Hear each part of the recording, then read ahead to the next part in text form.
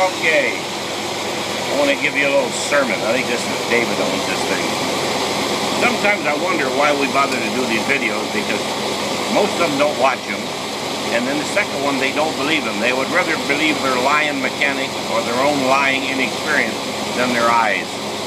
This carburetor runs perfect. It's all been, it's all been mixtures and all adjusted. It's running 12 parts of gas to every part of air. I mean, 12 parts of air to one part of gas. See the back barrels are coming in. This thing idles smooth as electric motor. But these guys get them and they put them on their car and they don't run. They either got too much fuel pressure, three pound maximum, timing is off, they got dirt in the fuel, they put more dirt in the new carburetor, they don't care, they install them, they put bad washers in here, they put washers underneath there, their motor's no good, and right away they call up cussing me out, cussing us out, carburetor's no good.